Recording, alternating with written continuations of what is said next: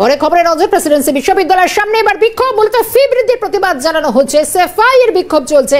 ফি না কমালে বৃহত্তর আন্দোলনে হুঁশিয়ারি দেওয়া হচ্ছে। এবার প্রেসিডেন্সি বিশ্ববিদ্যালয়ের সামনে বিক্ষোভ চলছে, মূলত সেফাই এর এ ধর্ণা, অবস্থান, বিক্ষোভ চলছে। ফি যেভাবে বৃদ্ধি করা হচ্ছে, তাতেই বিক্ষোভ চলছে বলে জানা যাচ্ছে। অবিলম্বে এই বর্ধিত ফি কমাতে হবে। কি বলছেন বিক্ষোভকারীরা, শুনে। আমাদের দাবি মূলত এইটাই যে বেশ কিছুদিন আগে আমরা জানতে পারি যে আমাদের বিশ্ববিদ্যালয়ের ফি বৃদ্ধি হতে চলেছে। আমরা সবাই জানি যে কেন্দ্রীয় বাজেটে শিক্ষাক্ষেত্রে প্রতি বছর ব্যয় বরাদ্দ কমে যাচ্ছে। রাজ্য সরকার কীভাবে বিভিন্ন স্কুল বন্ধ হয়ে যাচ্ছে, এই শিক্ষাখাতে ব্যয় বরাদ্দের প্রতি না লক্ষ্য লক্ষ্য লক্ষ্য দেওয়ায় এবং প্রচুর স্কুল, প্রচুর মিড ডে মিল এইসব প্রভিশন বন্ধ হয়ে যাচ্ছে।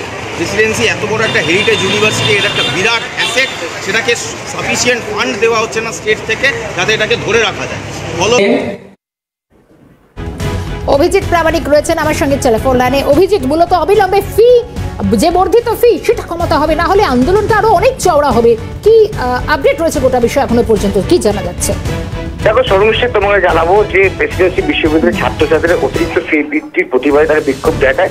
তারা মূলত দাবি করছে যে তিন হাজার টাকা ফি বৃদ্ধি বাড়ানো হয়েছে। অর্থাৎ তোমাদের যদি বিয়াল্লিশশো টাকা তোমার ফি বৃদ্ধি থাকে তিন হাজার টাকা, অর্থাৎ টোটাল সাত হাজার তিনশো টাকার মতন ফি বৃদ্ধি বেড়েছে।